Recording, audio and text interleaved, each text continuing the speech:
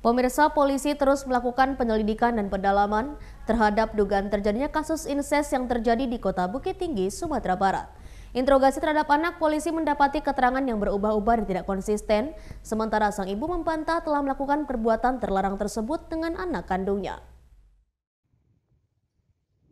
Polres Bukit Tinggi, Sumatera Barat mendatangi institusi penerima wajib lapor EPWL Ganggam Solidaritas, tempat remaja MAZ diduga pelaku inses hubungan terlarang dengan ibu kandung di karantina. Kasat Reskrim Polresta Bukit Tinggi AKP Fetrizal S menyebutkan, interogasi terhadap MAZ menunjukkan jawaban yang diberikan berbelit-belit dan berubah-ubah.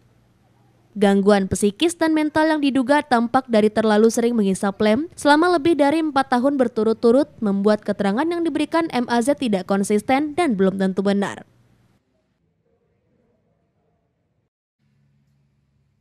Dari sana kami lakukan penyelidikan termasuk meminta eh, keterangan ataupun interogasi terhadap eh, anak tersebut yang sekarang sudah eh, berusia 28 tahun termasuk uh, orang tuanya. Jadi untuk sementara uh, dari kami kami sampaikan yang pertama adalah terkait dengan keterangan uh, saudara MA yang pertama kali memberikan informasi ini hmm. belum bisa kami pastikan kebenarannya karena dari hasil interogasi bahwa uh, keterangan yang diberikan itu selalu berubah hmm. tidak uh, konsisten dengan jawaban-jawaban yang kami berikan.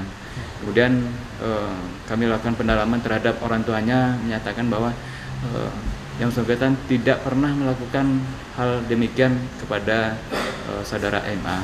Ya, Pemeriksaan dengan bersama dengan dinas juga ya Pak? Kami tadi juga didampingi oleh dinas perlindungan anak Kota Bukit Tinggi termasuk dari psikolog. Apakah benar perbuatan itu terjadi apa tidak? Ya. Polisi juga melakukan pemeriksaan dan interogasi terhadap Ibu MAZ. Pernyataan klarifikasi dilakukan di ruang rapat kantor Dinas Pemberdayaan Perempuan dan Perlindungan Anak, Pengendalian Penduduk dan Keluarga Berencana DP3 AP2KB Kota Bukit Tinggi. Di hadapan polisi DP3 AP2KB Lurah Aur Tajungkang Tengah Sawah dan Camat Guguk Panjang, sang ibu membantah telah melakukan hubungan terlarang dengan anaknya. Ibu MAZ mengatakan soal inses tersebut hanya halusinasi atau khayalan putranya.